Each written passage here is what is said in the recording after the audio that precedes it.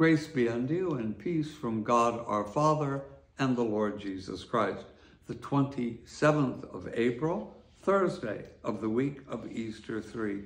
Jerome, watch the dates 340, 420.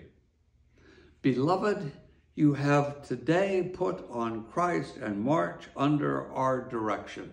You are raised up by the word of God like a fish on a hook from the ocean of the world.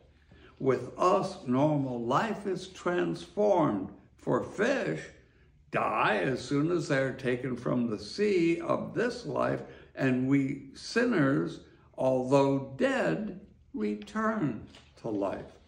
As long as we were in the world, we remained in the depths, and our life was submerged in the mire.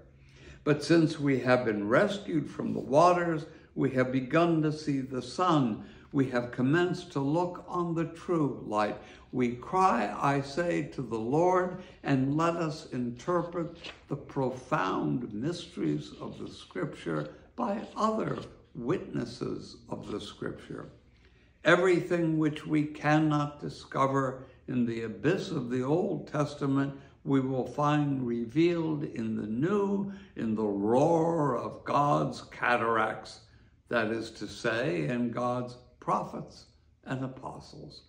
All the lofty wastes of the Lord, the seas and the impetuous rivers which gladden the city of God have been broken under us in Christ Jesus, to whom be glory and powers forever and ever.